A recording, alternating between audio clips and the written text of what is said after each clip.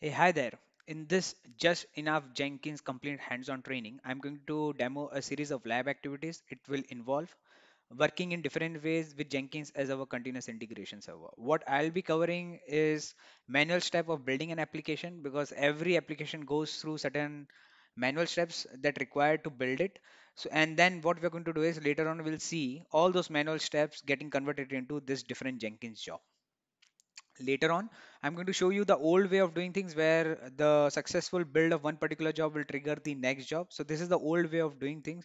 What jenkins did they added a new pipeline project in in the newer version of jenkins. So i'm going to convert the same jobs that you have seen earlier in the previous old way of doing things into this stage build. So this is going to be one of the pipeline project and we're going to again convert the same thing into this different stages then later on, I'm going to show you how you can use this Jenkins Blue Ocean plugin and we're going to get the same stages in a different UI.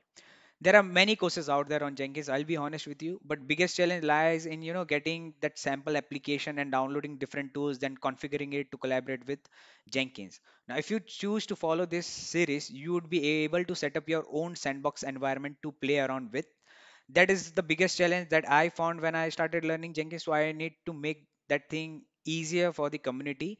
So I'm targeting this particular Jenkins course at the beginner level.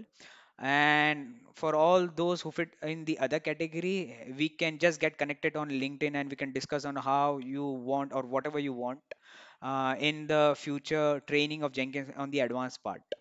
So in this particular training, I am limiting myself to only 15 videos. Uh, that would be enough for the learner to start their Jenkins journey, as I believe a learner has to own their learning and then they can take it further. I'm just showing one way out of the many ways out there.